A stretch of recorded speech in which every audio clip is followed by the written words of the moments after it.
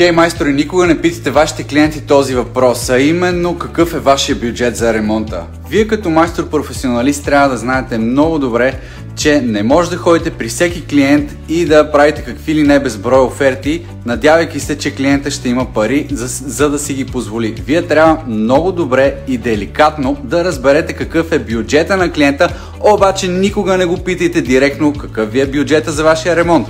Примерно, ще ви кажа, преди време, когато се занимавах преди Мана България, вече сме на 5 години в Мана България, преди това, когато се занимавах с ремонти, при един такъв казус ще ви кажа, когато ремонтирах на един човек, трябваше да му направя кухня. И аз желанието си да направя супер яката и готина кухня, го опитах какви ли не неща. Искате ли тук сега да има супер яки механизми, ъгови механизми, много готини, царги за чекмеджетата и какво ли още не всякакви готини врати клиента, да, да, искам и това, и това искам, и това искам, и това искам, и аз викам супер, егати готиното.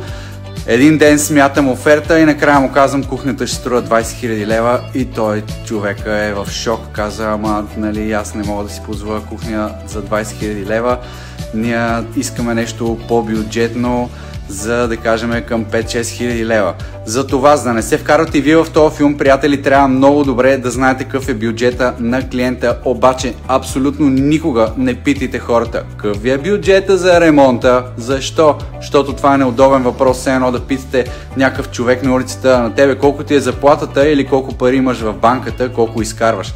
Не се прави така. Сега ще ви кажа как се прави. Преди това ви подканям да ударите един палец за Facebook страницата ни, в Instagram да ни последвате, в YouTube и в TikTok, защото правим поредица от видеа, които са с хаштаг майстор предприемач. Може да изгледате и другите такива видеа и да научите много полезни съвети. И подготвяме обучение по маркетинг, по продажби за майстори, да можете да се рекламирате, да преговаряте по-добре и да се продавате по-добре. Да, именно тактиката, която ще ви споделя сега, се нарича рамкиране и тя какво се изразява. Когато имате един обект, примерно, трябва да правите кухня, ще започнахме с този пример, ще продължим с него. Когато отидете при клиента, вие не го питате какъв ви е бюджета за кухнята, а вие го питайте. Тук можем да направим кухнята по два варианта. Единият вариант е да направим съвсем стандартна и качествена кухня, която струва около 5-6 хиляди лева или пък да направим много модерна, наблъскана с екстри кухня по поръчка с всякакви екстри, която ще струва около 20-22 хиляди лева.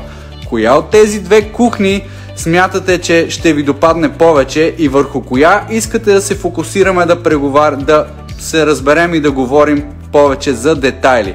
По този начин, без, без вие да сте питали клиента какъв е неговия бюджет, той сам ще ви каже, едната кухня ми е по джоба, другата не мога да си я позволя. Или пък, имам супер много пари и искам най-доброто, направи ми най-доброто. С тази тактика, която се нарича рамкиране, приятели, при преговорите вие ще разбирате бюджета на клиентите ви много лесно и няма да е нужно да ги питате на удобни въпроси. Следете ни във Facebook, Instagram, YouTube и TikTok, където продължаваме да ви споделяме полезни и интересни видеа за вас, майсторите, за да може да преговаряте по-добре с вашите клиенти, да може да се продавате по-добре, да изкарвате по-добри пари, които вие заслужавате, когато давате супер готино качество. Очаквайте обучението ни по продажби, защото там ще ви съсипа от от техники и тактики за продаване, за преговаряне и за това как да се рекламирате и как да достигате до по-адекватни хора. Готина вечер на всички, до скоро, чао!